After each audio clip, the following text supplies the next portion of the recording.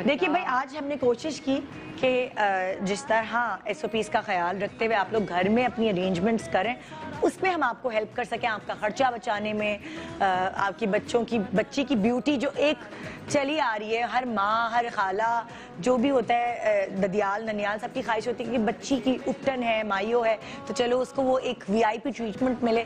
तो उमेरा हिल की बताई हुई चीज़ों से बच्ची को वीआईपी ट्रीटमेंट मिलेगा। खर्चा अगर आपने अपने घर में रह के ही करना है तो वो कोई एक मुमानी जान हमारी तो हमारे घर में मुमानी जान बड़ी सुगड़ थी। तो वही उनको ही अगर मैं होती तो मैं उनको कहती कि भाई आप खाने बनाएँ हमारे घर के। कोई एक ऐसा आपका रिश्तेदार उसको किचन की ज़िम्मेदारी संभालने को दे दें सौदा वौदा आप खुद ले आए। जैसे मैंने इवेंट प्लानर को बुलाया, इसी तरह आप अपने घर को सजाने के लिए, अपने कमरे को या जहाँ इवेंट करना है, उसको सजाने के लिए वो ज़िम्मेदारी उनको दे दें।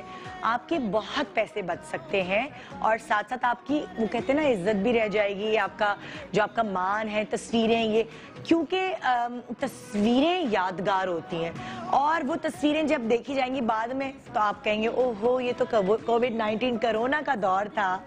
तो ये सब चीज़ें याद रहेंगी। बाकी आ, ये वाली यादें ऐसी होती हैं कि चाहे आपकी बड़े पैमाने पे हुई हो माइयो या छोटे पैमाने पे हुई हो।